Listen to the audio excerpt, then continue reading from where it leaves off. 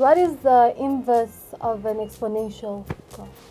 Well, Irene, that's a pretty good question. Hey, Mbuyi, uh, the inverse of an exponential function. Actually, it's called a log graph, but many students battle with this. So let's let's look at that question. What is the inverse of an exponential function? Okay. Now, firstly, an exponential function. Do you recognize it as y equals two to the x? Mm-hmm. Okay, with that little x up top there, an exponent up top there, and we want to draw that graph. Okay. Now, I always say to students, when in doubt, use a table. Okay, draw a little picture. You know, seeing is believing. Mm -hmm. Do you agree, Mbuyi? Yes, I yeah. okay, so let's have a look at this. fx is equal to 2 to the x. Well, that's the same as y equals 2 to the exponent x. Okay, now what we're going to do is we're going to pick some x values. Now what I do is I choose negative 1, 0, and 1. Okay, pretty cool. Now what do you girls think? Okay, now if x is equal to negative 1, what would be 2 to the exponent negative 1, 2 to the negative 1. Ooh, that would be a half. Yeah, you see, Irene. You see, she's she, Irene for president. I think she'll make a good. We need a lady president, don't we you do, agree? hey? I think it'll be a good-looking lady. You know. Hey, what do you say? All right, two to the naught. You want to have a go? It would be one. Yeah, some Zanzi, SABC one, Mbuyi. Two to the naught is one. Okay, and what's two to the one? Two to two. You got to believe it. You see, you you guys are pretty good at maths here. So now once we've got that, people, all we need to do is draw the graph. We've got the x values, and let's have a look at the y. So let's plot it. If we go there, negative one, a half, okay, naught, one, and one, two. X is one and two, and then all you do there is you draw the exponential graph. And what do you call, let's see if you girls are clever, um, the line that's not touched, the x-axis, there's a funny word that they talk about it. Do you know that word? Yes. What is it? Line of symmetry. I mean, yeah, asymptote. An asymptote, yes, yes. Okay, what a funny word, asymptote. Sounds like, you know, Eminem coming to Yeah, today we're going to do an asymptotic function. Yeah, an asymptote. Yeah, you, you agree? Okay, so here we go. Now watch this. Watch this. This has got to be easy. You've got your x's and your y's. Now, guys, how do we get the inverse of an exponential? Swap the x and y around. So all you do, you've got your table. So in other words, there's the f graph. The x is swapped around with the y. So let's do it to the table. We call that the inverse graph. Now look at that. That was the top row was x, the bottom was your y values. Now swap the x and y around. Look how easy that is. You see, guys, maths is so easy. Don't let them tell you it's difficult. You know what I mean? Maths is easy. Now watch out. Once you've got that, you simply swap the x and y around. So have a look at this. Minus 1 a half becomes a half negative 1. Naught 1, 1 naught. 1, 2, 2, 1. And this is called the line of symmetry. I think you mentioned that. Okay, and you've got y equals x. So what do you think?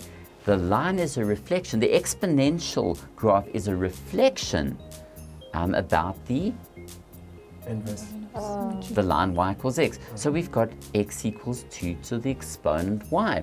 These, the inverse of the exponential is what we call a log graph, or x equals 2 to the y. But, but what is this thing called log? Now, all we've got to do is solve for y. Okay, and there was a funny man, a very good man. He, he, he was called Napier. Okay, he discovered logarithms. Interesting that Napier was also sort of the father of the computer, you know, that we know today. Now, look what he did. He said if a number equals a base to exponent, then what we do is we introduce this funny word called log. The base goes to here of the number is equal to exponent. So if 9 equals 3 squared, which is true, 3 squared is 9.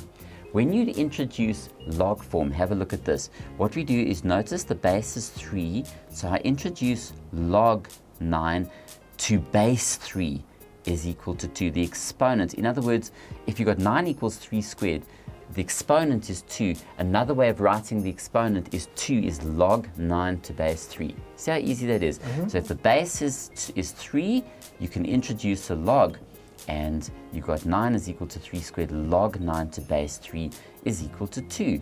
So when we take this, this graph and we invert it, okay, now we've got y as the exponent and we want y to be they call it the subject of the formula. That's very complicated. All you got to do is solve for y. We want to bring y down. And y says to 2, listen, you're getting in my way. You're such a base thing, you. you know. Look at, you're going to go there and you're going to go to the other side. And we introduce a little log, and there's x to base 2. So he goes underneath there. All right, and y is equal to that. Now that's the log graph. Now look at that. So we've got the inverse is log x to base 2.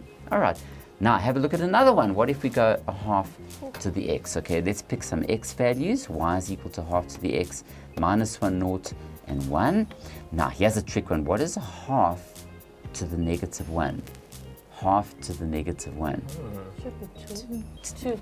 Okay, half to the negative 1 is actually 2 there, you see. So if we do that, let's write that in. A half to the negative 1 um, is going to be 2. So let's write that in 2 there. What's a half to the naught? One. One. 1 and a half to the 1? A. So you see, you can write that in, and once you've got it there, it's pretty, pretty cool because then we can then draw the graph of these things. Okay, now have a look at this. If you take this, if you take, there's your inverse there, you swap it around, and there's your y value, look at that. And you've got these. Now all we do is we plot these things, okay? And we swap the x and y around and have a look there. Minus 1, 2 becomes 2, negative 1. Mm -hmm. 0, 1, 1, 0, half one, one and a half, and there's the this little inverse graph. And notice the reflections about y equals x, x that line. And of course, if we want to introduce the log form, okay, there we go. X is equal to a half to the y, log x to base, a half is y. The half goes underneath as a base.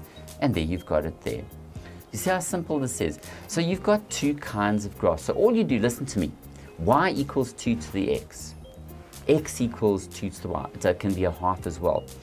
Then you, you simply get a table, you've got your x's, your y's, and you simply do this, y, and swap the y and the x around.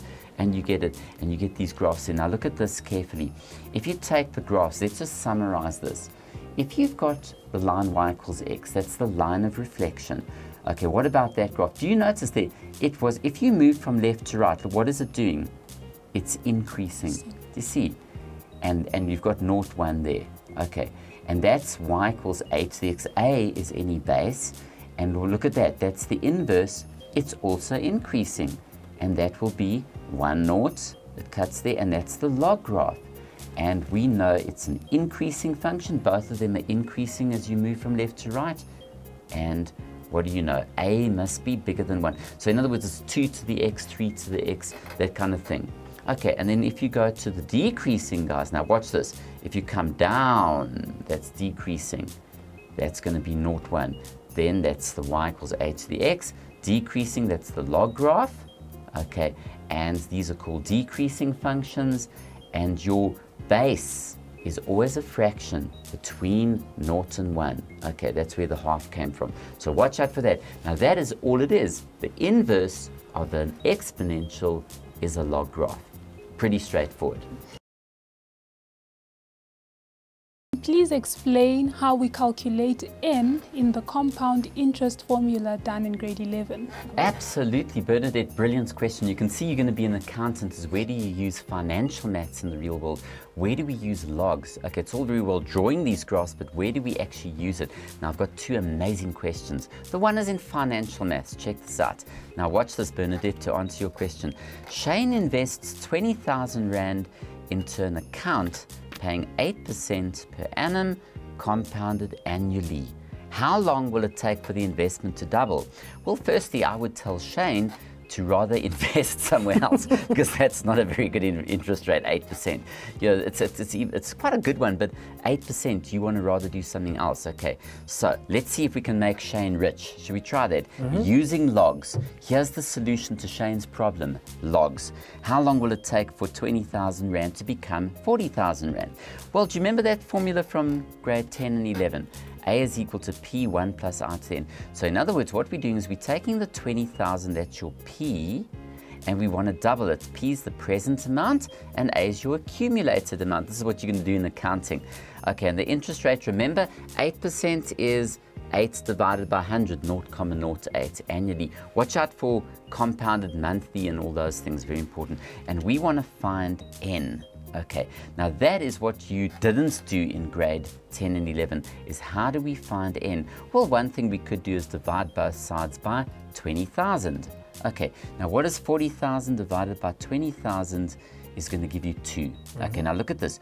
2 is equal to 1 comma 08 to the exponent n. How do we solve for n? Now this is real world. Shane's got 20,000 Rand. He wants to double the money. How long will it take him at a given interest rate? That's a cool question. Now have a look here. What we do is we introduce logs. Look at that. Log 2 to base 1 comma 08 is n. And if you use your calculator, if you simply go, you there's a button that deals with this on the calculator, the log button. Look at this, 9 comma something, which gives us approximately about 9 years to double. Damn. Pretty good, eh? You can see how logs is used in the real world. You see there, Shane wants to know how much must, or how long will it take for his money to double? And look at that, it helps you, isn't it amazing? You can do a calculation Mbuyi. When you win the lotto, when he wins a million rand, we can do some logarithms here and we can teach him how to make some money here. Now, here's another question. Watch this. It has been established, this is for, for Irene who wants to do medicine. It's been established that there are new strains of bacteria which are immune to modern day antibiotics. That's scary. This could have dreadful implications for the human race, particularly if these, if these dangerous so called superbugs are not able to be treated by modern medicine. You know, they say in the hospitals that you get these bugs that are immune to, it's a true thing. There was a big story about bugs that actually are immune to antibiotics. We, we sometimes fill ourselves with all these antibiotics and that can be dangerous. Now, how do we use logs in the situation? Have a look here. In an experiment on a particular strain of these superbugs, a scientist determined that the number of bacteria n in a culture increases exponentially. You see how the exponential graph happens here. After t days, according to this formula, after how many days will there be 10,000 superbugs in the culture? Okay, the scientists want to know what are we going to do about this bug. Now check this out, watch how we use logs. There's your little formula that they ascertained. We n is the number of bugs and we want to know in how many days what, what, you know, will these things reach 10,000? Have a look here. Well, what's 10,000 divided by, you know, uh, 50 is 200.